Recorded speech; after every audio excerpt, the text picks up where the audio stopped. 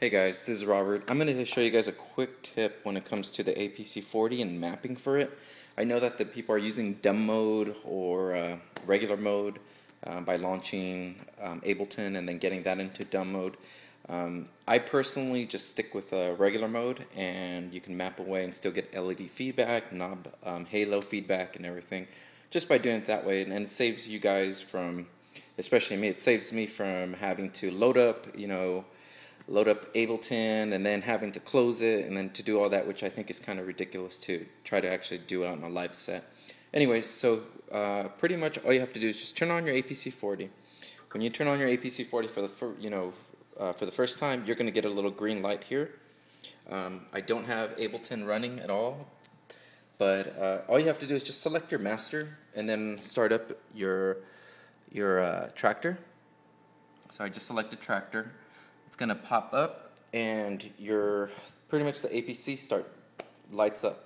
And that's pretty much it, guys. Um, as long as uh, as long as uh, the master selected, um, you can you can map away and get get LED feedback. Uh, pretty much get everything that you need, uh, whatever mapping you did.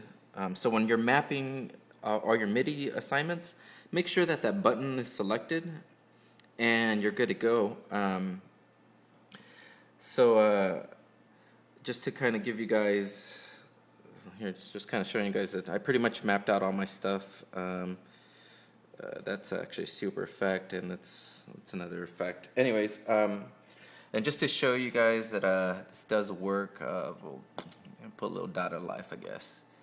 Um, uh, let's see.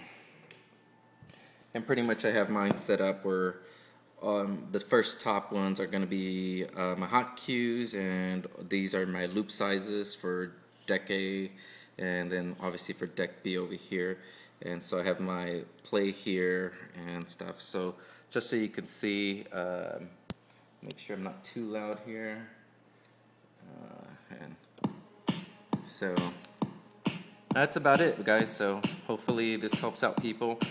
Um, by the way, if you do happen to if you do happen to go back to another, um, if if one of the uh, the track selection does go to an, any other channel besides the master, then uh, um, all you have to do is just go back to your master, and your lights come back on. So let me just quickly show you. That's how you know that the mapping has just changed. So you go into here, and then yeah, I did all LED feedbacks.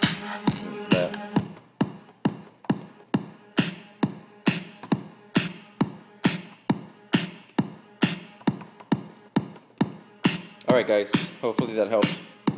Oh, if you guys are interested, I did uh, put this APC um, TSI up on DJ Tech Tools too, so hopefully you guys enjoyed that. Bye.